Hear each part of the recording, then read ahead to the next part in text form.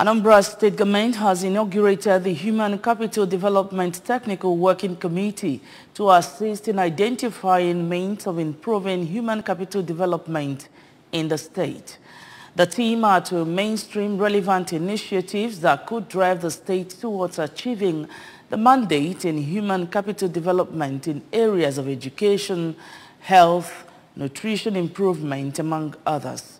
Emmanuel Okonkwo has details.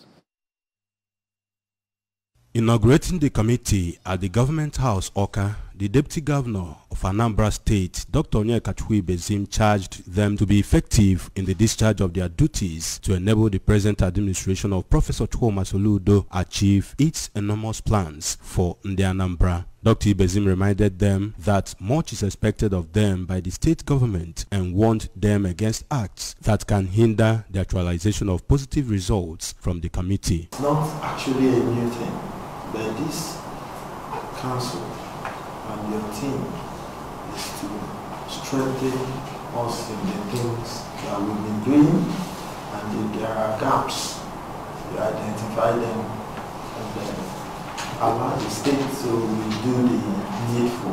Very important.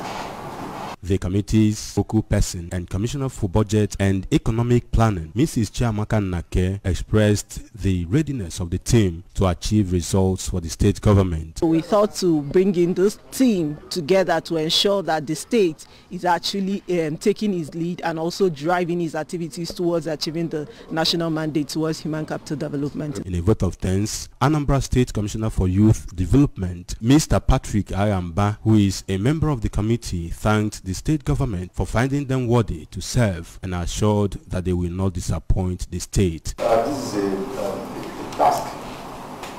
All of us must understand that um, Mr. Governor um, uh, is a um, result-oriented uh, man what he needs is just result. Members of the committee were drawn from ministries of budgets and economic planning, education, youth development and health.